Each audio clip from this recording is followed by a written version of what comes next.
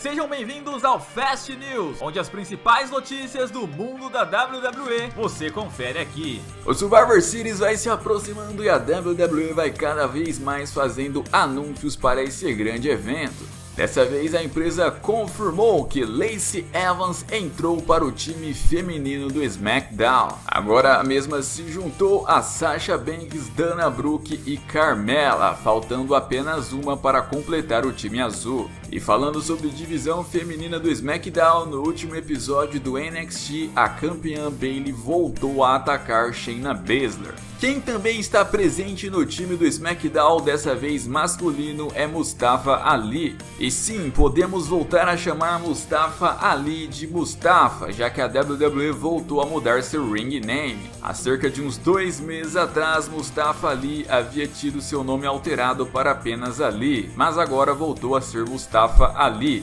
Aonde? Ali. E claro que a grande notícia da semana é o retorno de CM Punk, que apareceu no programa WWE Backstage. Foi relatado que o programa dessa semana no Fox Sports 1 atraiu uma audiência de cerca de 100 mil pessoas. No programa anterior havia atraído apenas 49 mil, mostrando já um grande aumento. Mas vale lembrar que CM Punk apareceu apenas no fim do show, então é a partir de semana que vem que todos querem saber saber quanto será a audiência que ele irá atrair. Nas redes sociais, por exemplo, o nome de CM Punk no Twitter ficou no topo por horas e inclusive houve cerca de 6 milhões de interações envolvendo seu retorno. Se pelo menos uma pequena porcentagem disso estiver assistindo o próximo WWE Backstage com seu retorno, ele estaria atraindo sozinho uma audiência, por exemplo, maior que a do NXT e da AEW. Quem não perdeu tempo e inclusive resolveu desafiá-lo para um combate foi o arquiteto Seth Rollins e a própria WWE compartilhou esse desafio. Outro que também desejou enfrentar CM Punk em algum momento foi o superstar do Raw, Ricochet.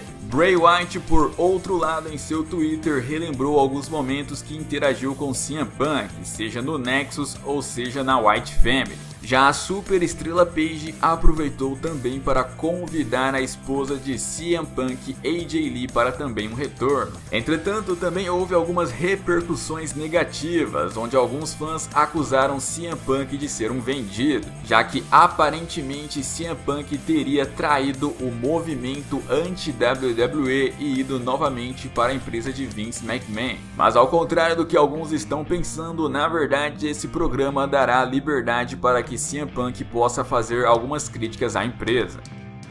E foi esse o vídeo de hoje, eu espero que vocês tenham gostado, não se esqueça de me seguir nas redes sociais, de se inscrever no canal e deixar o like. Um abraço, até a próxima e fui!